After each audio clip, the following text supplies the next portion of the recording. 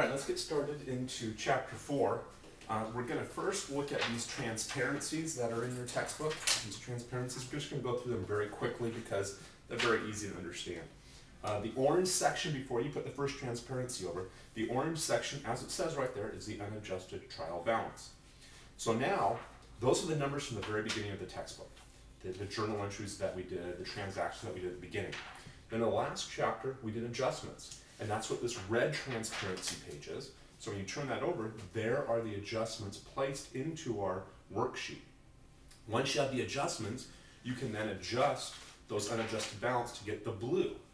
And there is our adjusted trial balance. Now that we have our adjusted trial balance, we can now prepare our financial statements. Now, the brown isn't really necessary, but the textbook does it, so it's just dividing it into the income statement and the balance sheet and the statement of retained earnings or the statement of owner's equity. So when you prepare those statements, you can, you can move these numbers over into the brown columns if you'd like. Or if you're good enough at this, you can just use the numbers straight from the blue column. That's what I prefer to do because the brown column is just an extra step. But anyway, if you do the brown columns, there's the income statement, the first two, and then the second two columns are the balance sheet and statement of owner's equity. Now they're not going to balance because, you know, before in the blue columns they did balance. But now that we've moved the numbers into four columns, they're not going to balance. But their differences are going to be equal. If you look in the green, you can see the second to bottom column or row, you can see that 3,785. You can see that number there, that's the net income. That's the difference between the two columns. So if you plug those in on each side, then they'll balance. Okay, and then the next page, it just shows you how you put all the numbers into the financial statements. So make sure you understand how this worksheet works and how it moves into the financial statements on the next page. Your income statement, statement of owner's equity, and balance sheet. Okay, now, another part of the chapter is the closing entries. Okay, it's the end of the year, we're all done, we've prepared our financial statements, but revenues, expenses, and withdrawals all have balances in them. Those accounts need to be zeroed out because next year we have to start at zero with revenues, zero with expenses, and zero with withdrawals. Because if you look here, I have certain accounts here.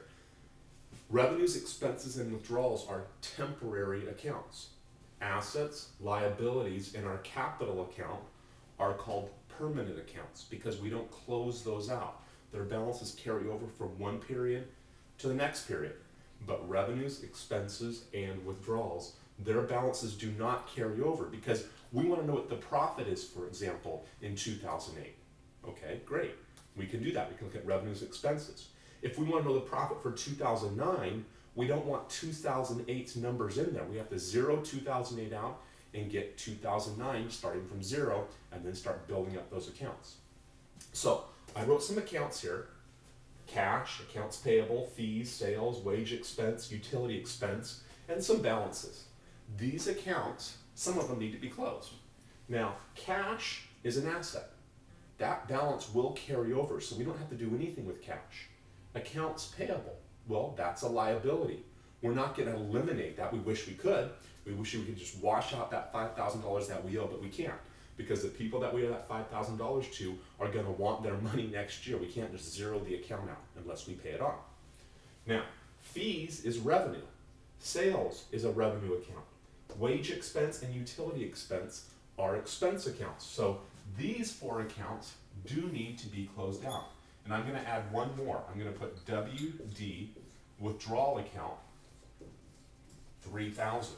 So our withdrawal account also needs to be closed. These five accounts are temporary accounts. They need to be closed out. Now the first step in closing out is to close out our revenues. Okay? Revenues have credit balances, so we have to debit them. So I'm going to debit fees fees earned and sales. Fees earned is ten thousand, so I'm gonna debit that ten thousand, and sales is one hundred thousand. We're gonna close it out to a new account called income summary. It's just a temporary account, we're just gonna use it temporarily. Income summary, we're just gonna put it in there temporarily. So I'm gonna have a little T account here called income summary. And now I've got one hundred and ten thousand in it. So step one is to close out revenues to income summary. Step two is to close out expenses to income summary. Well, I'm gonna put down income summary. Our expenses total sixty-five thousand, so that's gonna be our debit to income summary. Now we've gotta actually close out wage expense and utility expense. Wage expense is fifty thousand. Utility expense is fifteen thousand. Now notice, I'm crediting the expenses because expenses have debit balances. Expenses have debit balances. So to close them out, I have to credit them. So now wage expense and utility expense is zero because I just credited them. So now they had a debit. I credited them that dollar amount, they're zero, and I put it all into income summary. So if you look over here, hopefully this is in the picture, income summary now has sixty-five thousand on the debit side, hundred and ten on the credit side. Okay, so that leaves us forty-five thousand in income summary. There's forty-five thousand in income summary. What is that forty-five thousand? That's our net income. Our revenue accounts minus our expense accounts gives us our net income. So our net income has now been put into income summary. Well, that's the third step now. We have to close out income summary and put it into, where do you think? Well, let's close out income summary. To close it out, we'll put forty-five thousand debit. So now that zeroes out the forty-five thousand in income summary. Income summary is now zero. We're gonna put it into the capital account because who who owns that net income? Who owns the profit of the company? The owner. So we're going to put it into the owner's capital account. Okay? And that's exactly what the statement of owner's equity does, right? When we're doing the statement of owner's equity, we put net income into the capital account, right? Well, we have to actually do it. That's what this whole closing process is doing. It's putting that net income into the capital account, just like we've done already in the statement of owner's equity. And then step four, what else do we do in the statement of owner's equity? Don't we reduce it by the withdrawal? Okay, we do. So we actually have to close out the withdrawal account.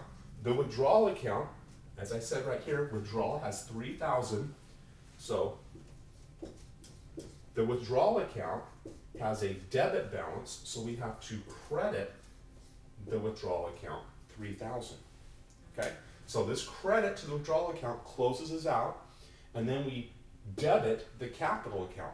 This debit to the capital account will reduce the capital account just like in the statement of owner's equity when we subtract out the withdrawal from the, the owner's equity account, from the capital account. That's what this is doing. So basically, these two entries right here, entry three and entry four, are just doing exactly what we've always done in our statement of owner's equity. So when you're going through in the textbook looking at their example, they show the closing entries, the closing entries from these transparency sheets. They're showing the closing entries. Follow along. See how the balance after you're done with the closing entries equals the statement of owner's equity that you already prepared. Okay, well that's the, that's the chapter. It's not too difficult in a chapter. Some students get a little bit confused, but it is a four-step process. The textbook does a very good job. Hopefully you've understood what I've done with different numbers, but I think it all makes sense for the reason why we do it. It's so that our capital account equals our statement of owner's equity capital account balance. Okay, good luck with the chapter.